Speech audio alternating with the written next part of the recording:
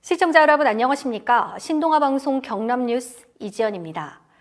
경상남도가 부산시 남부보건소에서 고안해 운영 중인 워킹 스루를 벤치마킹해 도내 마산보건소에서 시범 운영합니다.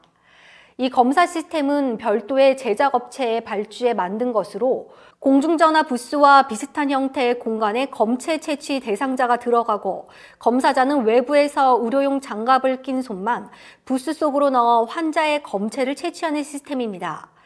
검사 대상자와 검사자의 공간이 분리돼 최소한의 접촉으로 감염으로부터 안전하고 검사자 또한 착용하기 불편한 개인 보호복을 입지 않고도 검사를 할 수 있어 신속하게 검체 채취를 할 수 있다는 장점이 있습니다.